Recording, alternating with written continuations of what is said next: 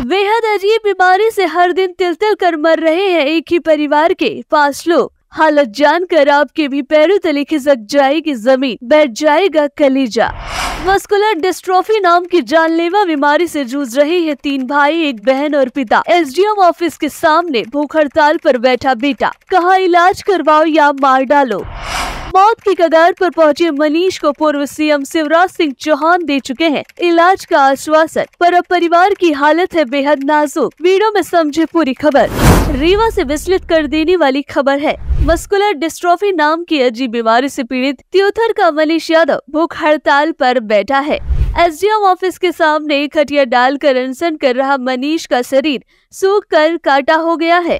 मनीष की मांग है कि जब तक इलाज का आश्वासन नहीं मिल जाता, आमरण अनशन जारी रहेगा। आपको बता दें कि 25 सितंबर से अनसर पर बैठे मनीष का कहना है कि जब तक मुख्यमंत्री डॉक्टर मोहन यादव तक बात नहीं पहुँच जाती, अनशन पर बैठा रहूँगा। अगर सरकार इलाज नहीं दिलवा सकती तो इच्छा मृत्यु दिलवा दे। हर व्यक्ति के जान माल की सुरक्षा सरकार की ज़िम्मेदारी है।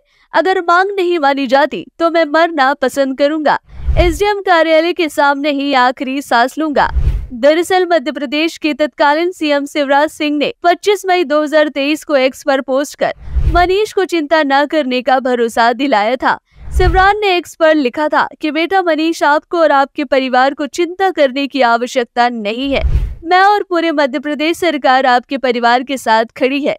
आपको और परिवार के सभी सदस्यों को सर्वश्रेष्ठ चिकित्सा सुविधा उपलब्ध कराई जाएगी। आप सभी स्वस्थ जीवन का आनंद ले। यही मेरी शुभकामनाएँ हैं।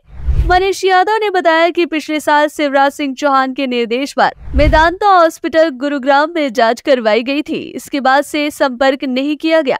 दो महीने पहले जाँच रिपोर्ट आ गई है। उसके बाद से अस्पताल से इलाज के लिए फ़ोन आ रहे हैं। लेकिन हम आर्थिक रूप से अक्षम है। उसरगांव के रहने वाले राम नरेश यादव उम्र साठ वर्ष के पाँच बेटे और दो बेटियाँ हैं। मनीष को मिलाकर परिवार में कुल नौ लोग हैं। पाँच मस्कुलर डिस्ट्रॉफी की चपेट में है इनमें तीन भाई, एक बहन और पिता बीमारी से पीड़ित है स्टेम सेल थेरेपी के ज़रिए इस बीमारी का इलाज कुछ हद तक संभव है, लेकिन खर्चा महँगा है राम नरेश और बेटी सुशीला को बीमारियों के हल्के लक्षण थे 1998 से 2003 के बीच अनीश, मनीष और मनोज का जन्म हुआ। ये बच्चे आठ से दस साल के हुए तो इनका शरीर कमज़ोर होने लगा।